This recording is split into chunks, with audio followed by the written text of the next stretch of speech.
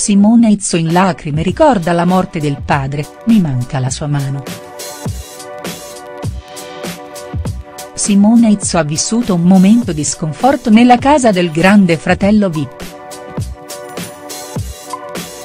L'attrice, regista e doppiatrice si è abbandonata a uno sfogo in solitaria, ad alta voce, in cui ha ricordato la morte del padre Renato Izzo, avvenuta otto anni fa. Nel ricordare un sogno fatto la notte del funerale, Simona non ha saputo trattenere le lacrime. La Izzo parla del padre e si commuove. Questo è il monologo della Izzo, video. Quando è morto mio padre sapevo che le mie sorelle andavano a vestirlo ma io non ci sono andata, non ce l'ho fatta. La notte del funerale ho sognato che quando ero bambina lui mi diceva che la sua mano non sarebbe stata sempre tesa, che si sarebbe fermata come infatti si è fermata. Mi diceva che dovevo trovare un'altra mano e che avrei trovato altre persone cui serviva la mia mano. Ho lasciato la sua mano e ho preso quella di tutti gli altri. Però ogni tanto mi servirebbe la sua mano Aveva mani da contadino, e invece era un regista, uno scrittore.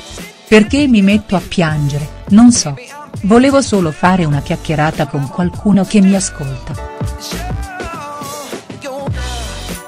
Spero che almeno tu, amore, sia in ascolto, il marito Ricky Tognazzi, NDR. Non sono triste, ma questo posto aiuta a pensare. Il padre di Simona era Renato Izzo. Il papà di Simona era Renato Izzo, grande attore, doppiatore, direttore del doppiaggio, sceneggiatore, scrittore e produttore scomparso nel 2009.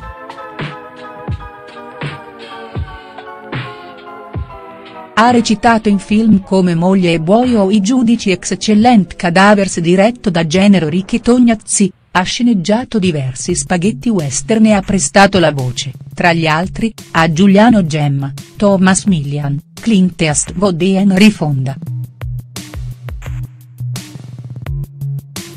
Ha fondato una vera e propria dinastia di doppiatori, Simona e le sorelle Rossella, Fiamma e Giuppi hanno intrapreso lo stesso mestiere, come pure i loro figli.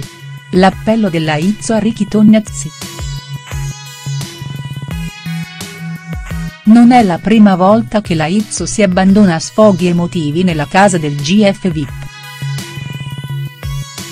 Alcuni giorni fa è scoppiata a piangere sentendo la mancanza del marito Ricky Tognazzi e del figlio, nato dal precedente matrimonio con Antonello Venditti, Ricky vieni, vieni in trasmissione. Anche mio figlio Francesco, se venisse sarebbe meraviglioso. Ho una malinconia terribile.